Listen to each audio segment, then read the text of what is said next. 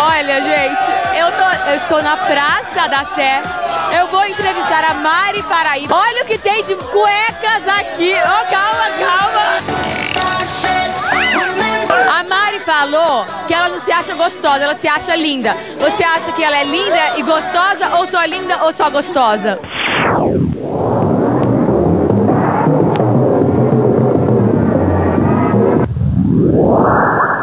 Que é os dois, ela é mó gata.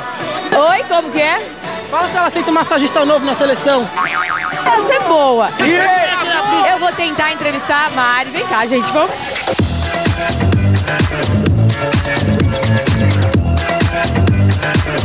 Tá, posso chegar? Posso chegar? Olá, coelhinhas. Menina, prazer. Mari do céu. Já tá acostumada? Já tá acostumando ou já tava acostumada com esses marmanjos aí? Tô começando a acostumar agora, nunca vi isso assim. Eu tô vendo que você é tímida, parece. Bastante.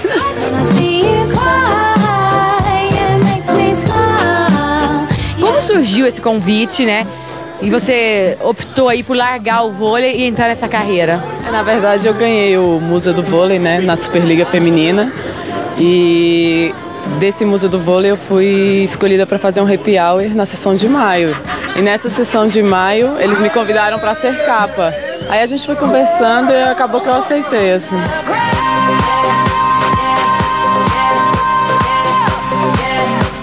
E eu li que nesse ensaio, que você não ficou nua, o seu pai pegou as suas revistas e levou pros colegas lá com o seu autógrafo, né? E mostrou pra todo mundo.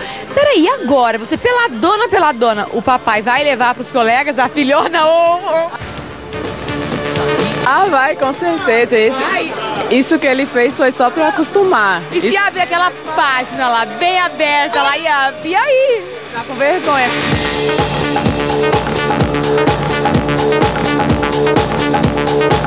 Agora eu fiquei sabendo que a senhorita tem um namorado.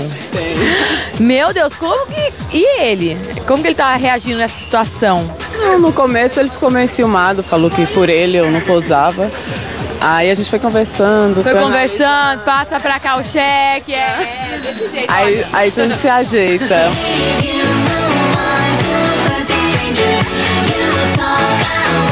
E as fotos, como que foram tranquilas? Você ficou com vergonha, se soltou? Não, no começo é sempre difícil, né? Eu ainda, ainda mais pra mim que sou um pouco tímida, então pra tirar a primeira peça assim é. Tem que ter muita coragem. Eu li que você foi muito paquerada, muito cantada por mulheres.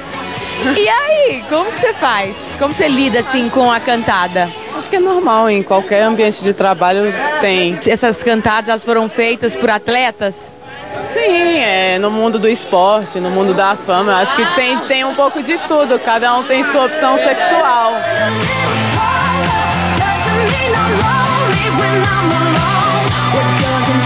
É, tem Photoshop. Não, na verdade eles perguntaram se usava, se usava Photoshop. Eu falei, pô, eu acho que em qualquer mulher eles usam. Eu acho que na minha não usou tanto não.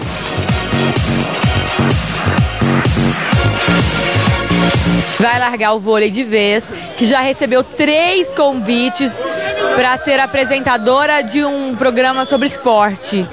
É, na verdade eu deixei o vôlei de lado um pouco, até pelo fato da revista, né? De eventos, de tarde de autógrafos. Vôlei nunca mais, então, só brincando.